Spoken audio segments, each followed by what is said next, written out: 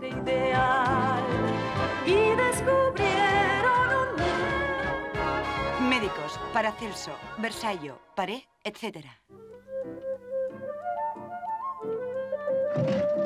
¡Ay! ¿Cómo me duele la pierna? ¡Ay, qué dolor de cabeza! ¡Ay! Este reumatismo me mata. Ay, Sin duda es la humedad. O la edad. Bueno, niños, hoy formáis un grupo lastimoso. Me duele la cabeza. Yo estoy resfriada. Yo me he dislocado el tobillo jugando al fútbol. Y yo el brazo.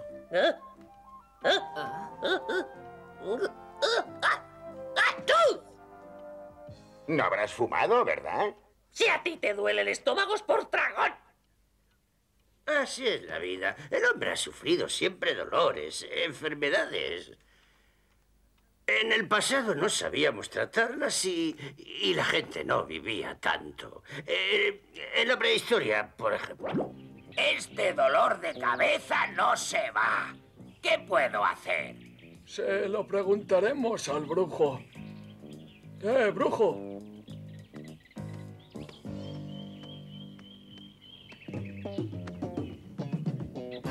Oh. Oh. Oh.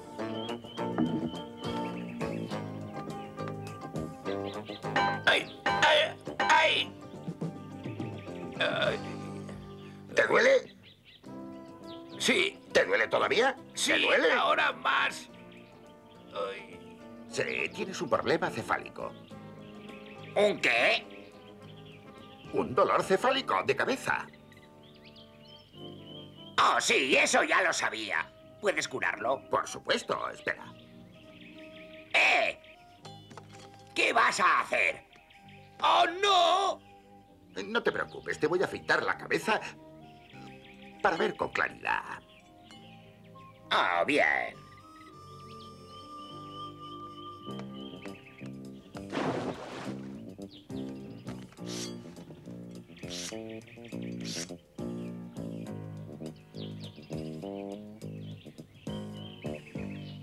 ¿Dónde te duele más, aquí o aquí? Aquí y aquí. Aquí y aquí, decídete. Tienes un pequeño animal en la cabeza. Por eso te duele. Yo lo haré salir. ¿Cómo? Haré un pequeño agujero. ¿Estás seguro? ¿Quién es el brujo aquí? ¿Eres tú? Pues estate quieto. ¡Uy! ¡Uy! Bonito agujero. ¿Ya no te duele? Bueno, sí, ahora me duele el agujero. ¿Lo ves? Ya no te duele la cabeza. Estás curado. Puedes irte. En aquellos tiempos la medicina probablemente era así. ¿Y un agujero pequeño en la cabeza te ayuda a mejorar? Eh, A veces lo único que necesitas es fe. ¿Todavía te duele? ¡Oh, no, no! Me siento mucho mejor, mucho mejor. La medicina siempre ha tenido algo de magia. En China se inventó la acupuntura, un tratamiento que utiliza agujas pequeñas. En Babilonia se consultaban las estrellas. En Egipto los médicos eran sacerdotes. La medicina científica vio la luz en la Grecia clásica. Su más ilustre representante sería Hipócrates, que fundó un hospital y una escuela médica en la isla de Kos. Él inició la observación clínica. Fijaos, uno, dos, tres, cuatro, cinco. Ahora debemos escuchar su corazón. Pon tu oreja en su pecho y eh, oirás un sonido como el que hace el cuero al doblarse y desdoblarse. Sí, es un ruido como de triturar. La flema está ahogando los pulmones. Hay que mantener caliente al paciente hasta que su organismo recupere el control. Traed tinas de agua caliente. Buenos días, Hipócrates. ¿Y qué te ocurre a ti? Bueno, el otro día, levantando una piedra... Ya veo lo que es, una dislocación. Ven aquí.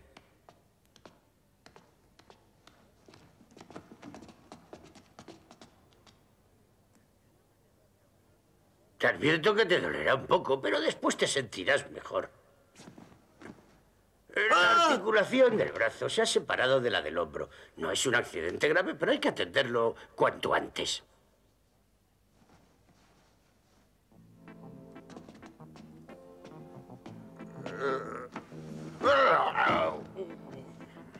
Veamos, cuando la cara está amarilla y el hígado duro, el dolor de tripa es por una gastritis fuerte.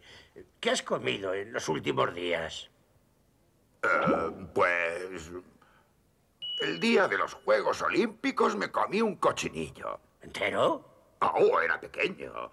Al día siguiente salchichas de salónica para comer y una pierna de ternera para cenar. Y ayer calamares a la brasa, montones de calamares. Comprendo. El cuerpo del hombre está compuesto de sangre, flema, bilis amarilla y bilis negra. Cuando esos cuatro elementos están equilibrados, el hombre está sano.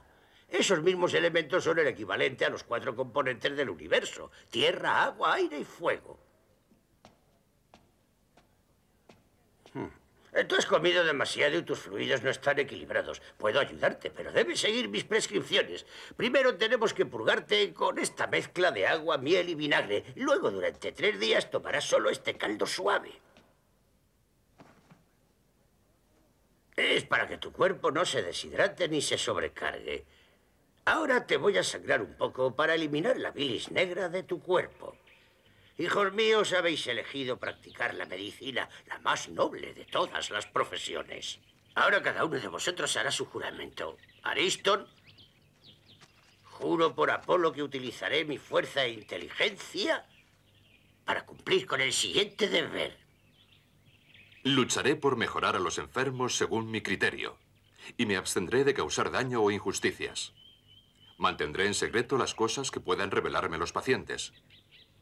Ejercitaré mi arte con honradez y pureza en las casas en las que entre. Todavía hoy, 25 siglos más tarde, pronuncian los médicos este juramento. La ciencia de hoy nos permite conocer muchas cosas más, pero los preceptos principales de Hipócrates siguen siendo válidos todavía. Ahora, niños, ¿qué pensáis? ¿Necesitáis un pequeño tratamiento? No, no, yo puedo mover el brazo. Mi dolor de cabeza ha desaparecido. Mi resfriado también. Yo puedo correr como una liebre. ¿Y tú? ¿Una buena purga, quizá? No, no, estoy bien, pero me encantaría comer algo.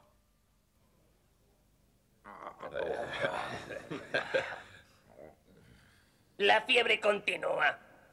Nuestros remedios son inútiles, Marco Aurelio. No sabemos qué hacer para curarte, oh emperador.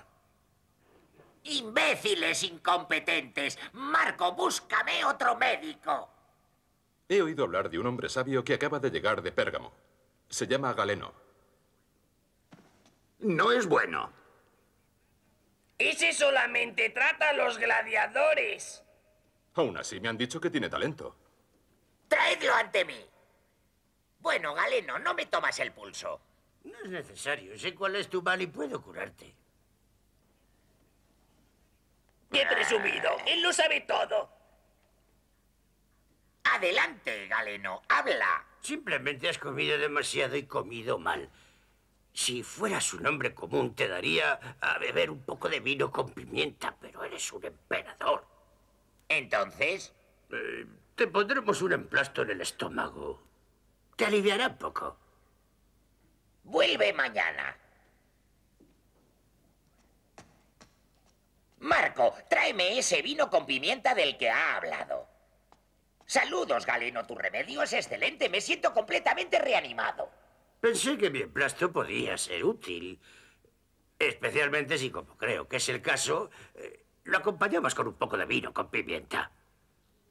Galeno se hizo rico y famoso. Sus estudios le permitieron descubrir el sistema nervioso y el cerebro, que para él era el hogar del alma, mientras que el hígado era el almacén en el que la comida se transformaba para pasar a la sangre. Los innumerables tratados médicos que escribió serían un punto de referencia durante más de mil años. A lo largo de los siglos posteriores, la humanidad padecería grandes epidemias. La peor de todas llegó a Europa en el siglo XIV.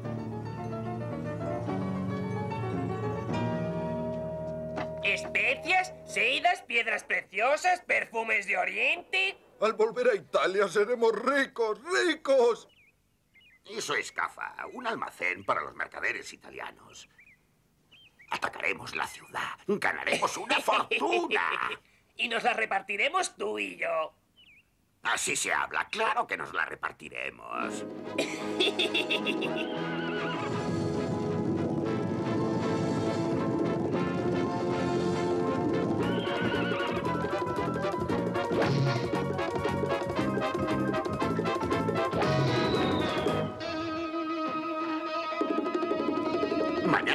Juntos. No resistirán mucho tiempo.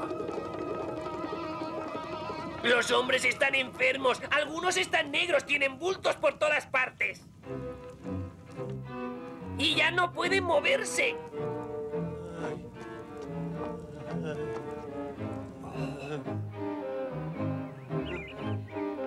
Ya no quedan hombres para atacar la ciudad. Vámonos. Sí, pero antes les dejaremos un pequeño recuerdo. y ya verás. Vosotros dos, venid aquí. Poned estos cuerpos en las catapultas y lanzadlos dentro de la ciudad.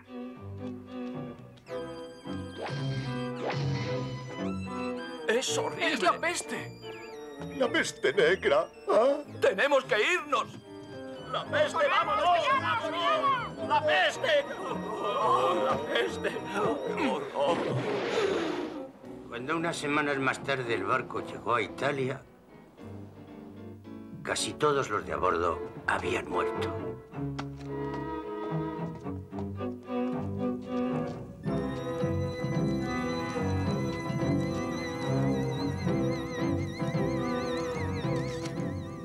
La peste se extendió por toda Europa.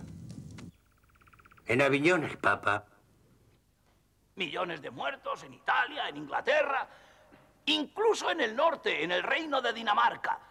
Y ninguna solución a la vista. Fe, hijo mío. Solo la fe puede salvarnos. Una peregrinación a Roma es lo que necesitamos. Un millón de peregrinos de los que fueron a Roma morirían de la peste negra. Fueron unos años terribles. Guerras, hambrunas, epidemias. ¿Y cuál era el tratamiento?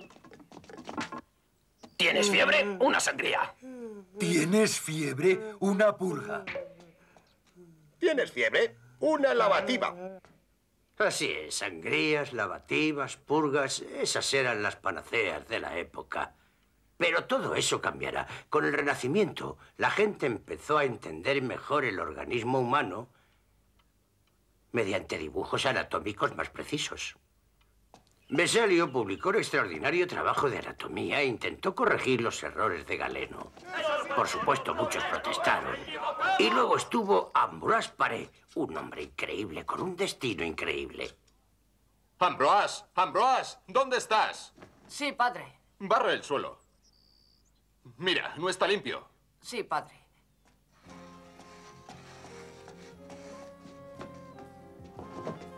¡Deprisa! El médico de la casa de al lado necesita al barbero.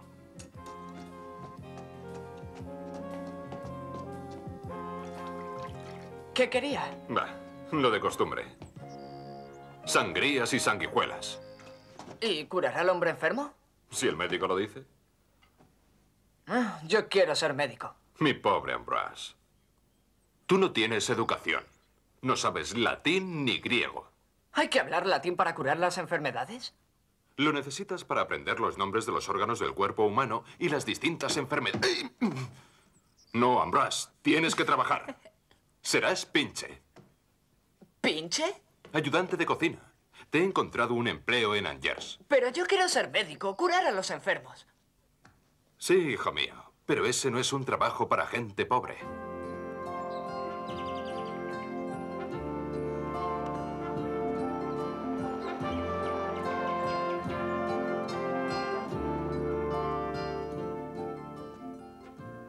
¿Dónde puedo encontrar a Paul? Paul Paré. Por allí, el segundo pasillo a la izquierda. Doce ventosas, ¿entendido? Sí, doctor, doce ventosas.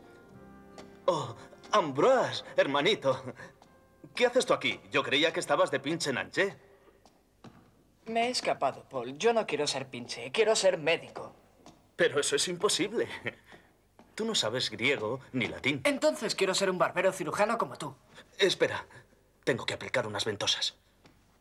Date prisa o me dará una epistaxis, me lo ha dicho el médico. ¿Qué es una epistaxis? Sangrar por la nariz. ¿Lo ves? Tú no sabes latín, no puedes ser médico. Podría tratar una nariz que sangra sin saber que se llama una epistaxis. ¿No me ayudarás, Paul? Entonces, hijo mío, ¿quieres ser barbero cirujano? Bueno, empezarás de ayudante y luego ya veremos.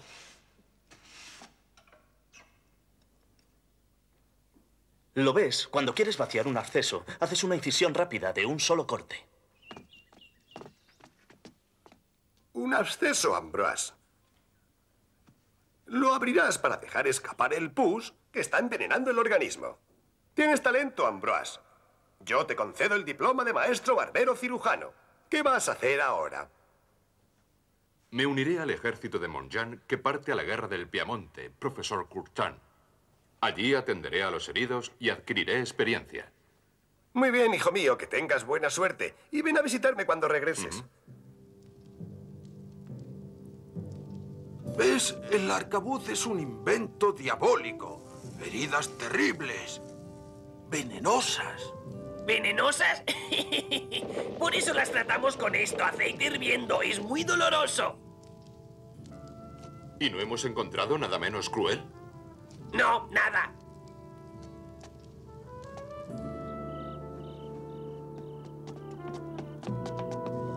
Heridas de arcabuz, aceite hirviendo.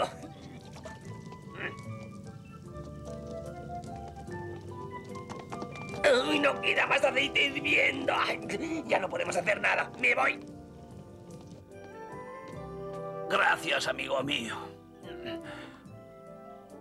No hay nada que hacer. Voy a morir como una rata. Espera, encontraré algo.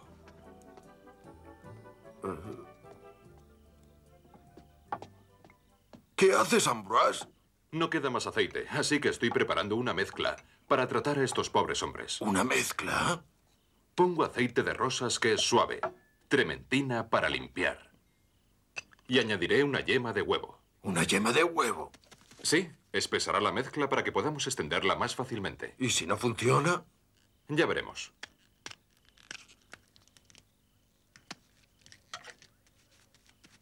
Pero eso no es aceite hirviendo. ¿Aliviará el dolor? Eso espero.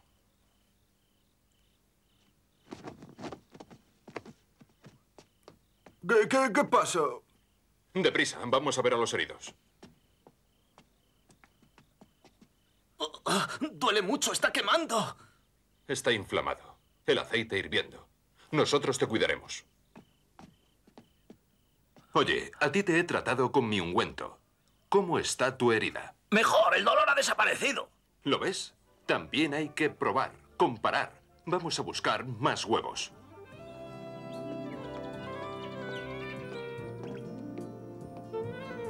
Yema de huevo, aceite de rosas, trementina. Ya está.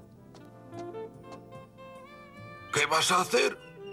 Limpiar las heridas tratadas con aceite hirviendo y tratarlas a mi modo. No nos está permitido hacer eso. Tenemos derecho a aliviar el sufrimiento de los hombres.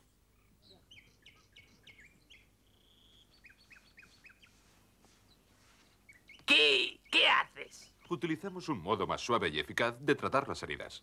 ¿Más eficaz? No hay nada más eficaz que el aceite hirviendo. Causa un sufrimiento innecesario. Son soldados, pueden soportar el sufrimiento. Ah, yema de huevo, trementina. También hay aceite de rosas. Esto es insubordinación. Haré que te azoten, que te metan en la cárcel. ¿Qué ocurre aquí? Oh, capitán, capitán, estos hombres me han desobedecido. Les ordené tratar las heridas con aceite hirviendo. Ellos han usado mezclas extrañas. Los heridos van a morir. A mí no me va tan mal, capitán. Mañana podré volver a luchar. ¿Quién es el responsable de esto? Es él, él. Sí, capitán. No había más aceite. Así que preparé un ungüento de mi invención y entonces... Bien hecho. ¿Cómo te llamas? Ambroise Paré. Has sobrado bien. Estos hombres se están curando. Yo solo los cuido. Es Dios quien los cura. Yo te nombro barbero cirujano jefe del regimiento. Pero si el jefe soy yo, soy yo. Ellos me han desobedecido, deben ser castigados. Y a ti te nombro ayudante. A partir de ahora harás lo que te diga Ambroise Paré.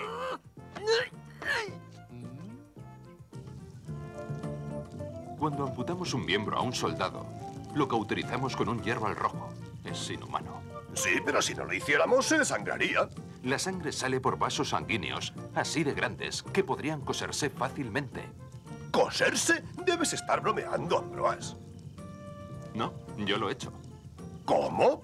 ¿Cómo te atreves a hacerle eso a un hombre? Un mortero le voló la pata a un perro. Yo lavé el muñón y le cosí la herida. ¿Sin cauterizarla? Quizá. Pruébalo. Ya veremos. Gracias, doctor. La pierna ya no me duele. Yo no soy médico, amigo mío. Solo un barbero cirujano. Bueno, usted vale más que todos los médicos del mundo juntos. Tengo una idea. Ahora ponte de pie. ¿De verdad cree que...? Ahora dame tus muletas. ¿Pero de verdad cree que...? ¡Cielo santo! ¡No puedo creerlo! ¡Estoy andando! ¡Oh, oh, doctor! ¡Es un milagro, un verdadero milagro! Voy a enseñárselo a mis compañeros. Espera un momento, siéntate. Tengo una idea.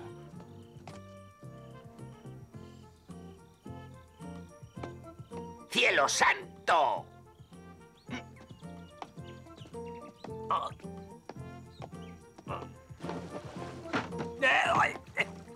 Hubiera jurado que le habíamos cortado una pierna a ese.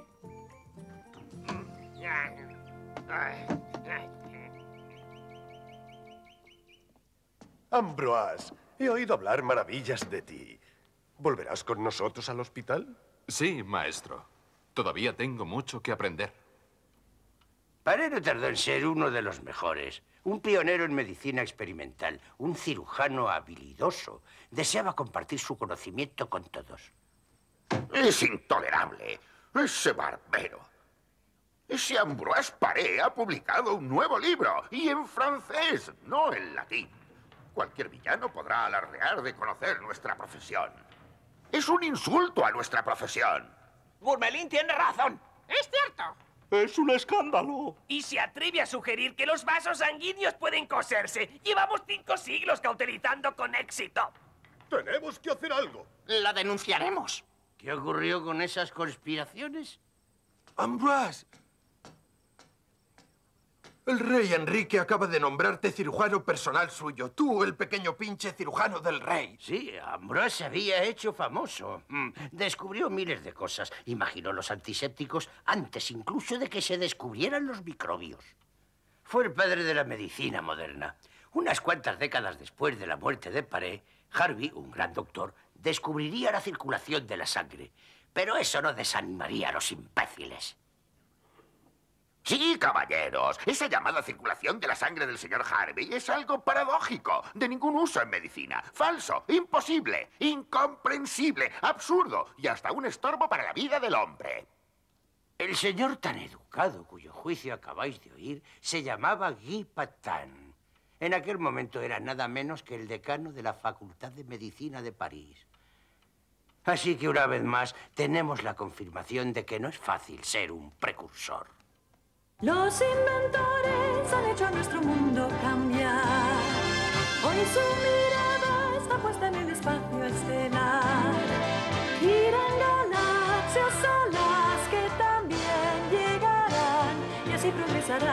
sabiduría nuestra vieja tierra hoy como ayer con sus inventos sorprenderá, transformará las utopías en realidad. Los inventos